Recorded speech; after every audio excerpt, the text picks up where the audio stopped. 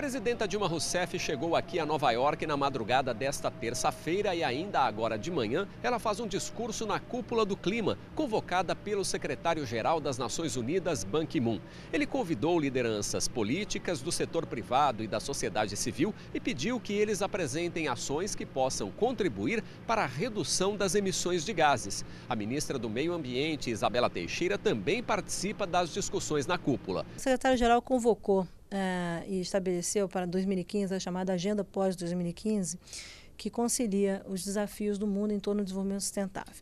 E nisso nós temos uma, resultado da Conferência Rio Mais 20 no Brasil, foi estabelecida uma agenda de objetivos de desenvolvimento sustentável, objetivos esses que foram apresentados à Assembleia Geral e que a partir desse agora nós vamos consolidar esses objetivos ODS e trabalharemos no próximo ano em relação à sua é, o seu formato, escolhendo quais são os objetivos, que vão dialogar com os objetivos do desenvolvimento milênio. Quer dizer, vai haver uma transição do, milênio para o desenvolvimento sustentável, que são os novos objetivos globalmente aceitos por todos os países.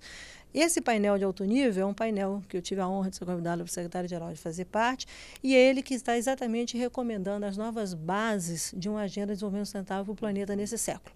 Tá? Então, esse painel hoje se reúne para assinar uma declaração, nós vamos divulgar uma declaração dos membros, reforçando a necessidade da agenda de desenvolvimento sustentável e reforçando a necessidade de integração de desenvolvimento sustentável e debate sobre mudança do clima.